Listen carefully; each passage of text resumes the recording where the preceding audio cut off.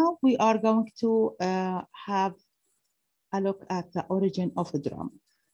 A drama is a specific mode of fiction represented in performance. This is the definition of a drama. The term comes from a Greek word meaning action.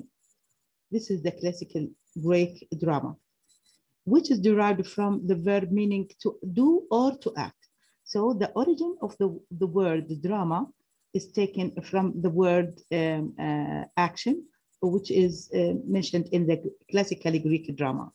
The enactment of drama in theater is performed by actors on a stage before an audience. And we have collaborative modes of production and collective form of reception. The structure of dramatic text, unlike other forms of literature, is directly influenced by this collaborative production and collective reception. Now, we have an example, the early uh, tragedy, the early modern tragedy, Hamlet, which was written by Shakespeare in 1601, uh, and the classical Athenian tragedy, Oedipus the King. Okay, this classical uh, tragic play, Oedipus the King, was written in 429 before uh, uh BC by Sophocles. These two plays are among the masterpieces of the art of drama. A modern example is Long Day's Journey into Night by Eugene uh, O'Neill. This is with regard to um, um, just an introduction to the idea of the origin of the drama. Now, when we study drama, we have two masks associated with the drama, represent the traditional genre division between comedy and the tragedy. There is always a picture of two faces. One, a smiling face, and the other is a sad face. The uh, laughing face or the face that is smiling represent okay, comedy, and the sad face represent tragedy. They are symbols of the ancient Greek muses, Thalia and Melpomene. Thalia was the muse of comedy, the laughing face, while Melpomene was the muse of tragedy, the weeping face. Considered as a genre of poetry in general, the dramatic mood has been contrasted with the epic and lyrical moods ever since Aristotle Poetics, the earliest work of dramatic theory.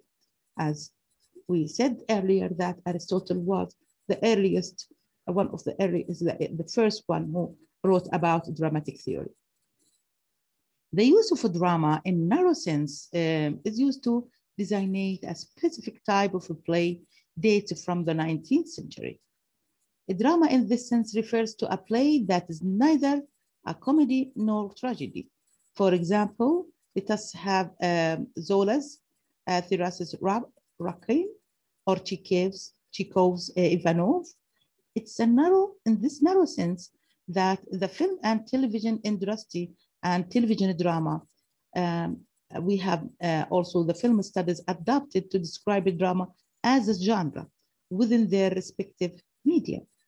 Also, in addition to television drama, we have radio drama, which has been used in both senses. Originally transmitted in a live performance, it has also been used to describe the more high brow and serious aim of the dramatic output of radio. So, drama is often combined with the music and dance. The drama in opera is generally sung throughout musical, generally include both spoken dialogue and songs. Some forms of drama have incidental music or a musical accompaniment underscoring the dialogue. Sometimes while the actors are speaking, in the background, music is played. Um, also, we have the melodrama, uh, for example, the Japanese melodrama, uh, or the Noh, uh, for example, and example, the Noh plays. And of course, Noh plays is one of the great Japanese uh, dramatic forms. Uh, even uh, W.B. Yeats, the Irish, the Anglo-Irish poet, wrote about this form of Japanese melodrama. In certain period of history, the ancient Roman and modern, here in particular, we are starting from the history of the ancient Roman and modern Romantic, romantic some dramas have been written to be uh, read rather than performed. In improvisation, the drama does not pre-exist the moment of performance, uh, performance advice, uh, and we have uh, some plays are uh, written to be read. As I told you, performance device, a dramatic script spontaneously before an audience. Let's start with the classical Greek drama. This is the earliest um, dramatic uh, form um, and let us explain what are the forms uh, that were written in this uh, period of time. Western drama originates in classical Greek, Greece, okay? So we, the, the, the whole um, dramatic record goes back to Greece. And here we have a theatrical culture of the city of Athens produced three genres of drama. At the classical Greek drama, we have three ma major types. They are tragedy and comedy and satire play. Three types, tragedy, comedy, and satire. Their origins remain obscure, though by the 5th century BC were institutionalized in competitions held as part of festivities, celebration, the god of Dionysus. We have many festivals in the ancient Greek uh, society. And uh, one of these uh, celebration is the celebrating of the god Dionysus. Historians know the names uh, of many ancient Greek dramatists, not least Thespis, who is credited with the innovation of an actor, hypokrites, who speaks rather than sings, and impersonates a character. This is the earliest dramatic form. We have an actor who uh, speaks, um, not act, okay? At the beginning, we have um, the, the major character, the actor, it speaks, uh, sometimes um, sings, uh, and impersonates a character while interacting with the chorus and its leaders. We have a major character and we have a chorus. This, this character um, speaks and uh, rather than sings uh, and impersonate a character, and sometimes he interacts with the chorus. Um, and uh, uh the chorus here uh, were a traditional part, was a traditional part of the performance of non-dramatic poetry. Okay, only a small fraction of the work of five dramatists uh, has survived to this day. We have a small number of complete texts by tragedies of Aeschylus, Sophocles, and Euripides. These are three um, tragedians, uh, tragedies um, uh, who wrote tragedy, tragic plays. These tragedians or tragic writers um, were famous in the classical period. And then we have uh, other comic writers like Aristophanes and uh, from the late fourth century Menander, uh, Aeschylus' historical tragedy, the uh, Persians is the oldest surviving drama. This is the oldest surviving drama which is written by uh, Aeschylus. Okay, so the uh, five dramatists um, uh, that uh, survived to our day, their work survived to our day, are five dramatists. in the tragedy, we have three writers, and in comedy, we have two writers. Um, the uh, earliest tragic text is the uh, text uh, called The Persians, which is written by Aeschylus. This is the oldest surviving drama.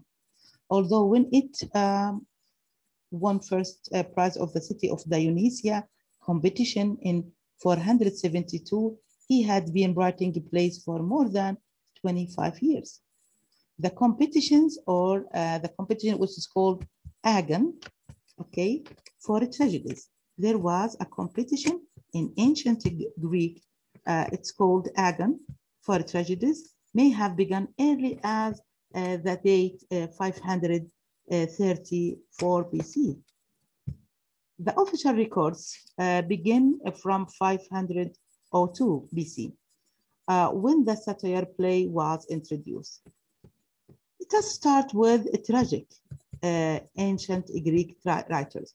Tragic dramatists were required to present a tetralogy of plays, uh, though the individual works were not necessarily connected by story or theme. Okay, these plays usually consisted of three tragedies and one satire play, though exceptions were made, of course. Uh, for example, with uh, Euripides, uh, Alcestis uh, in uh, 438 uh, PC. Comedy was officially recognized with a prize in the competition from 487 to 486 which is a later stage. So the first competition was uh, regarding uh, tragedies. It was Agon. It was um, at uh, 553 BC. The competition regarding uh, the tragic plays was 487 uh, to 486 BC. In other words, what does this tell us about the uh, classic age or the Greek age? that they care for uh, drama and they um, uh, love it. And this can be reflected in the competitions that were popular at their time. They give prizes for the best uh, comic uh, and the tragic play. Five comic dramatists competed at the city uh, Dionysia, each offering a single comedy. Ancient Greek comedy is traditionally divided between old comedy and middle comedy and the new comedy. When we come to the ancient Greek comedy, we will find a three division. The first one is old comedy, which was at the fifth century. And we have another type, it is called middle comedy. It was in the first century. And then we have the new comedy, late fourth century uh, to the second century BC. Okay, so this with regard to Greek drama. Now we'll move to uh, classical Roman drama.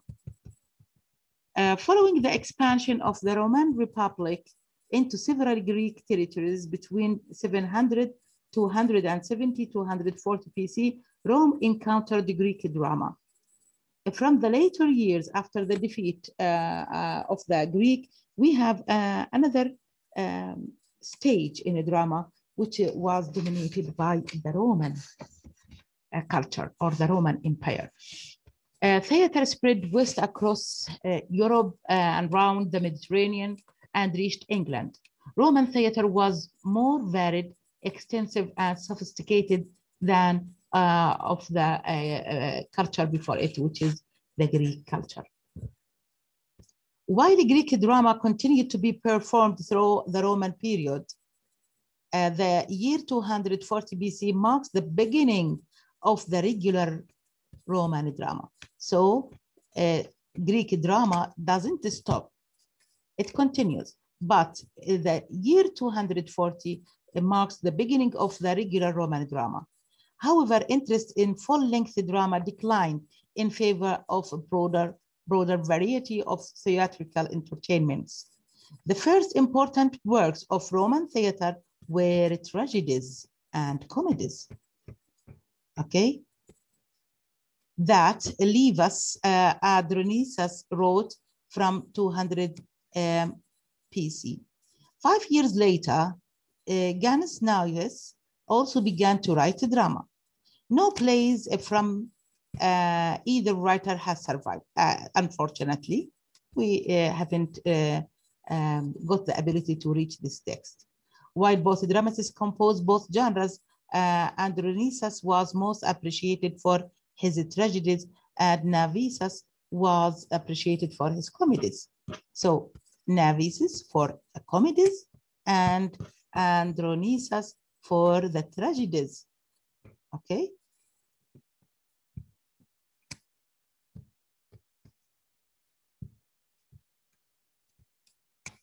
This is with regard to uh, the Roman drama. Uh, by the beginning of the second century BC, drama was firmly established in Rome, and uh, uh, a guild of writers uh, had been formed. The Roman comedies have survived, are all fabula pauta, comedies based on a Greek subject, and come from two dramatists, Titus, Maccius, Plautus, and uh, Publius uh, Terentius after Terence. So Terence is one of the great Roman dramatists. And reworking the Greek originals, the Roman comic dramatists abolished the role of the chorus. This is very important. So the role of the chorus uh, during the Roman period was abolished by dividing drama into episodes, episodes and introduce a musical accompaniment into its dialogue. Okay, so you have to know that the chorus was in the Greek drama, but the Roman abolished the role of the chorus. Uh, the action of all scenes is set in the uh, exterior location of a street and its complication often follow uh, from ever is dropping. Plautus, the more popular of the two, wrote between 205 uh, and uh, 184 BC, and 20 of his comedies survive. So this writer, uh, that this writer's work survived to us, and we have uh, 20 of his plays survived. From time of the empire, the work of two trage tragedians survived. Now, we discussed the comedies. We'll move now to the tragic plays we have uh, the work of two tragic writers. One is uh, an unknown author, while the other is the Stoic philosopher Seneca. Seneca is famous for his uh, tragic play. He is the greatest uh, Roman uh, tragic writer. Nine of Seneca's tragedies survive, all of which are fabula uh, data. Tragedies adapted from Greek originals. His Phaedra, for example, was based on Euripides' Hippolytus. Historians do not know who wrote the only extant example of the fabula praetexta. Tragedies based on Roman subjects. So the term fabula per means the tragedies based on Roman subjects. Okay? While the uh, expressions kribi data means it is adapted from a Greek origin. By this, I have to stop and next time we'll um, uh, trace the development of drama in the medieval age.